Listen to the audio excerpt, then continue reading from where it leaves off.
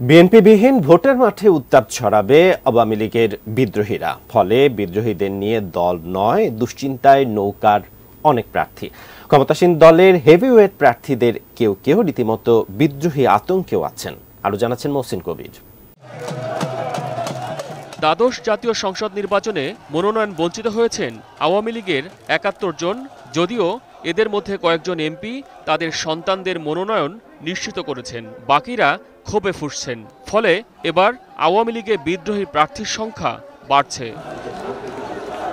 ভোটের মাঠে নেই বিএনপি সহ বিরোধীরা, তাই কেন্দ্রে ভোটার উপস্থিতি বাড়াতে বিদ্রোহীদের বিষয়ে বেশ নমনীয় আওয়ামী লীগ। দলের হাইকমান্ড থেকে সে ধরনের নির্দেশনা দেয়া হয়েছে বেশ আগেই। স্বতন্ত্র প্রার্থী তো ইলেকশন করতে পারে। সেটা করবে দলীয় নেতা কর্মীর ব্যাপারে। এখানে কোনো স্পেসিফিক কিছু বলা হয়নি। আমাদের ভোটার টাউন আউটের বিষয়টাও মাথায় রাখতে হবে।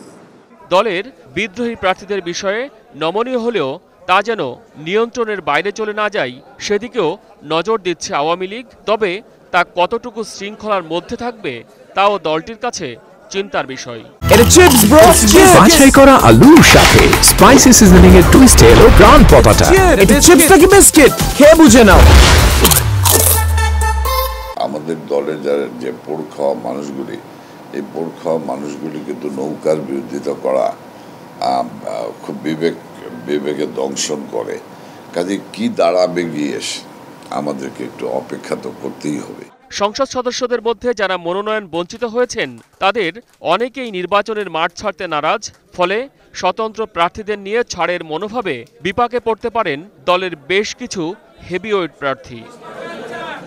আওয়ামী লীগের সভাপতি মণ্ডলীর দুই সদস্য, কাজী জাফরুল্লাহ এবং অ্যাডভোকেট কামরুল ইসলামের বিপরীতে শক্ত বিদ্রোহীর প্রার্থী সক্রিয় ফরিদপুর থেকে নৌকা চেয়ে না পেয়ে কাজী জাফরুল্লাহর বিরুদ্ধে আবারও ভোটের মাঠে মুজিবুর রহমান চৌধুরী নিক্সন আর প্রথমবারের মতো কামরুল ইসলামকে চ্যালেঞ্জের মুখে ফেলেছেন কেরানীগঞ্জ উপজেলা চেয়ারম্যান শাহিন আহমেদ। এক এক জায়গায় এক এক ধরনের মানসিকতা আছে। সেই মানসিকতা থেকে কি দাঁড়ায় আমরা একটু দেখতে চাই। সিটি কর্পোরেশনের নির্বাচনের পর বরিশালের রাজনীতিতে আবারও মুখোমুখি সেরনিয়াবাদ পরিবার এবার সদর আসনে স্বতন্ত্র নির্বাচন করবেন সাদিক আবদুল্লাহ তার মূল প্রতিদ্বন্দ্বী পানি সম্পদ প্রতিমন্ত্রী জাহিদ ফারুক যার পাশে আছেন সাদিকের চাচা বরিশালের মেয়র আবুল খায়ের আবদুল্লাহ খোকন সেরনিয়াবাদ এবং জনগণ আমি মনে করি যে শামীম ফারুকের সাথে আছে।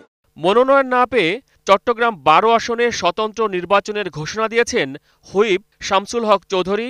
সিলেট এক আসনে কেন্দ্রীয় আওয়ামী লীগের সাবেক সাংগঠনিক সম্পাদক মিসবা উদ্দিন সিরাজ, ঢাকা উনিশে সাবেক এমপি মুরাদ জং সহ অনেকেই। তবে আওয়ামী লীগের কতজন স্বতন্ত্র প্রার্থী শেষ পর্যন্ত ভোটের মাঠে থাকছেন তা জানতে অপেক্ষা করতে হবে মনোনয়ন প্রত্যাহারের শেষ দিন পর্যন্ত।